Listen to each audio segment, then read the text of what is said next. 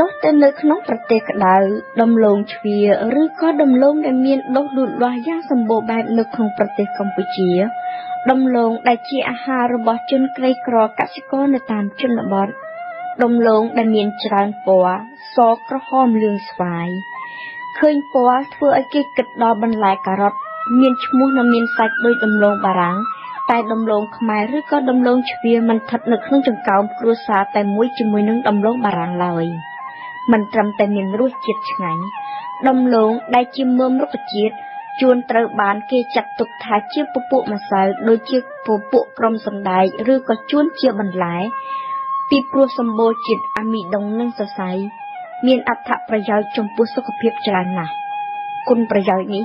ត្រូវបានគេបញ្ជាក់ដោយការសិក្សាបែបវិទ្យាសាស្ត្រមិនមែនគ្រាន់តែជាជំនឿឬក៏ដោយមានការចំណាំតតគ្នាទេ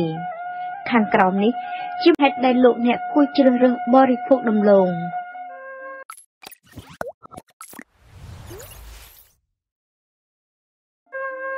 ជាបឋមប្រសិនបើគេវិភាគលម្អិត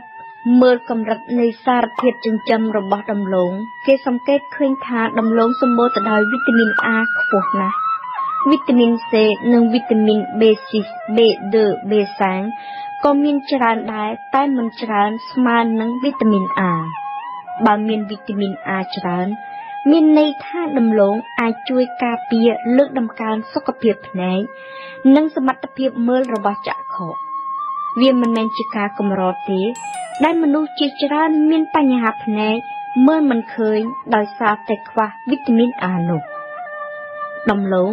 គឺជាប្រភពផ្ដល់សារធាតុរ៉ែស្ពាន់ធម៌ម៉ង់កាណេសកាល់ស្យូមដែកអ៊ីយ៉ូតម៉ាញ៉េស្យូមឬក៏ផូស្វ័រ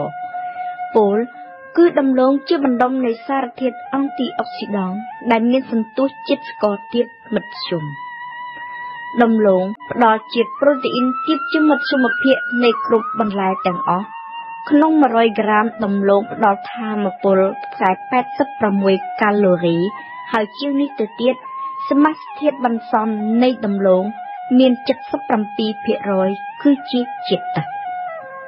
នៅចំពោះមុខសមាសភាពដ៏គួរឲ្យចាប់អារម្មណ៍យ៉ាងដូចនេះទើបអ្នកវិទ្យាសាស្ត្រផ្ដោតការសិក្សាដើម្បីស្វែងយល់អំពីអត្ថប្រយោជន៍នៃដំឡូងចំពោះសុខភាព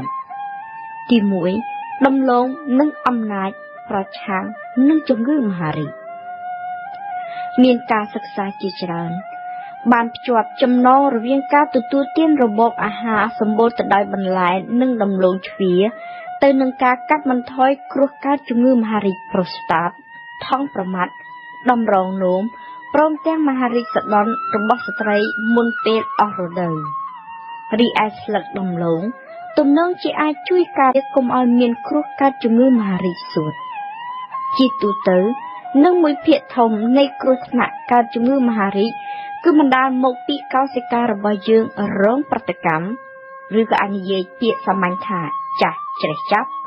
ហើយដូច្នេះហើយបានជាគ្រូពេទ្យជំនាញតែងតែណែនាំឲ្យជនគ្រប់រូបបរិភោគអាហារជាបន្លែនិងផ្លែឈើដែលមានសារធាតុអង់ទីអុកស៊ីដង់ប្រឆាំងនឹងការធ្វើប្រតិកម្មដ៏ខ្ពស់ហើយនៅក្នុងនោះបំឡងក៏មានឈ្មោះជាប់នឹងគេមួយដែរ ជាងនេះទៅទៀតដំឡូងមានសមត្ថភាព ជួយពន្យឺតភាពចាស់ជរានៃកោសិកាដូច្នេះវាក៏អាចជួយកាត់បន្ថយហានិភ័យនាំឲ្យកើតជំងឺមហារីកបង្កឡើងដោយភាពចាស់ទ្រុឌទ្រោមនៃកោសិកាដំឡូងអាចការពារបេះនិងជួយថ្លើមតើដំឡូងជួយការពារបេះដូងយ៉ាងដូចម្តេច ដោយសារតែសមាសធាតុជាតិធម្មជាតិមាននៅក្នុងមើមដំឡូងដែលកម្រិតប្រតិកម្មអុកស៊ីតមានន័យថាដំឡូងអាចមានសមត្ថភាពកាត់បន្ថយគ្រោះកើតជំងឺសរសៃឈាមបេះដូងដំឡូងពណ៌ស្វាយទំនងជាមានសមត្ថភាពខ្ពស់ជាងគេជាពិសេសក្នុងការទប់ស្កាត់កុំឲ្យមានការអកដុំឈាម នៅលើផ្ទាំងសរសៃឈាម ហើយស្លឹកដំឡូងមានប្រសិទ្ធភាព ខាងការការពារផ្ទៃនៃសរសៃឈាមតូចតូចទៀតការសិក្សានៅលើសត្វបានបង្ហាញអំពីសមត្ថភាពការពារថ្លើមរបស់ដំឡូងតែចំពោះមនុស្សដំឡូងទំនងជាអាចត្រឹមកាត់បន្ថយគ្រោះរលាកថ្លើមនិងកាត់បន្ថយអត្រាអង់ស៊ីមថ្លើមដែលជាភ្នាក់ងារបង្កជំងឺនៅនឹងថ្លើមពោះគុណប្រយោជន៍ដែលវិទ្យាសាស្ត្រមិនទាន់បានបញ្ជាក់វិញ គេសង្កេតឃើញថាបើតាមការសិក្សាមួយចំនួនដំឡូងទំនងជាអាចជួយចាត់ចែងអត្រាជាតិស្ករនៅក្នុងឈាមរបស់អ្នកកើតជំងឺទឹកនោមផ្អែមដោយសារតែដំឡូងមានជាតិសរសៃច្រើន និងសន្ទុះជាតិស្ករទាបគឺការបញ្ជ្រាបជាតិស្ករមានលក្ខណៈយឺតយឺតខ្លាំងហើយជាពិសេសទៅទៀតទំលងទំនងជាអាចជួយពន្យឺតភាពចាស់ជរានៃខួរក្បាលបើតាមអ្នកស្រាវជ្រាវក្រុមនេះ ដំឡូងអាចទៅជួយខួរក្បាលមនុស្សដោយទៅភ្ញួយកោសិកាផ្នែកយល់ដឹងនឹងការចងចាំក៏ប៉ុន្តែ ជាថ្មីម្ដងទៀតគុណប្រយោជន៍នេះនៅមិនទាន់មានការបញ្ជាក់នៅឡើយទៅលើរូបមនុស្សនិងជាពិសេសទៅលើអ្នកដែលមានជំងឺទឹកនោមផ្អែមនៅឡើយទេដំឡូងជាអាហារដ៏ល្អជាប្រភពធម្មពល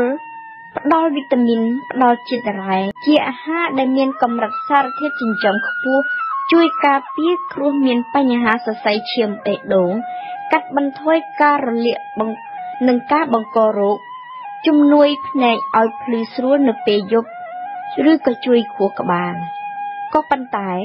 ដើម្បីអាចទាញយកប្រយោជន៍ទាំងអស់នេះបានពីដំឡូងគេត្រូវចេះជ្រើសរើសប្រភេទនៃដំឡូងសូមចងចាំថាដំឡូងមានពណ៌កាន់តែដុតកាន់តែមានគុណភាព សុខភាពខ្ពស់នៅក្នុងដំណោមដំឡូងសាច់ពណ៌សពណ៌ទឹកក្រូចពណ៌ក្រហមព្រឿងព្រឿងគឺពណ៌ស្វាយដែលមានផ្ទុកអាហារូបត្ថម្ភខ្ពស់ជាងគេ ហើយកាន់តែប្រសើរជាងនេះទៅទៀតគឺការទទួលទានទាំងសម្បកតែម្ដង ដែលមានផ្ទុកនិងសម្បូរខ្លាំងទៅដោយពពួកវីតាមីនប្រភេទ B ដំឡូង ត្រូវបានគេចាត់ទុកជាអាហារដ៏ប្រពៃសម្រាប់អ្នកចង់ធ្វើរបបអាហារ មិនចង់ឡើងទម្ងន់លោកអ្នកអាចទទួលទានជាម្ហូបប្រៃ ជាបង្អែម ជាអាហារសម្រន់ឬក្នុងទម្រង់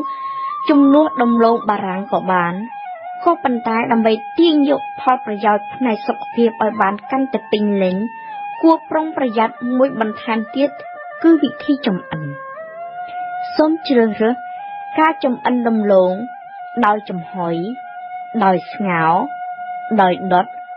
ឬក៏ដោយវិធីចម្អិនផ្សេងណាទៀតក៏បាន លើកលែងតែការជៀនឬក៏ការបណ្ដោបងខ្លាញ់ទើបអាចរក្សាគុណភាពផ្នែកអាហារូបត្ថម្ភរបស់ដំឡូងបានយ៉ាងខ្ពស់គួរប្រុងប្រយ័ត្នមួយទៀតគឺសូមកុំចម្អិនដំឡូងឲ្យឆ្អិនខ្លាំងពេកពីព្រោះដូចជាបន្លែ ដូចជាគ្រាប់ធញ្ញជាតិឬក៏អាហារធ្វើពីម្សៅអង្កកម្សៅពោតការចម្អិនយូរអាចធ្វើឲ្យបាត់បង់សារធាតុចិញ្ចឹម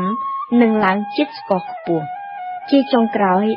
តកតងនឹងការទាញប្រយោជន៍ផ្នែកវីតាមីនពីមើមដំឡូងវិញ យើងត្រូវចងចាំថាវីតាមីន A អាចបញ្ជ្រាបចូលទៅក្នុងសរីរាង្គកាយ បានកាន់តែល្អប្រសិនបើយើងទទួលទានវាដោយលាយជាមួយនឹងប្រេងដូច្នេះសូមទទួលទានដំឡូងជាមួយនឹងប្រេងល្ងប្រេងអូលីវឬក៏ផ្លែបឺរក៏បាន thank you